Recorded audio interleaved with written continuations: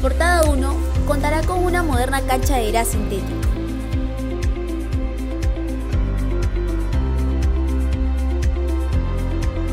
Como parte del compromiso del municipio de promover el deporte en nuestro distrito, se ha iniciado la construcción de un nuevo campo deportivo en Portada 1, el cual beneficiará a todos los vecinos del sector. Este nuevo espacio público, que ha sido recuperado, contará con una nueva iluminación, modernas tribunas y también juegos recreativos pensando en los más pequeños.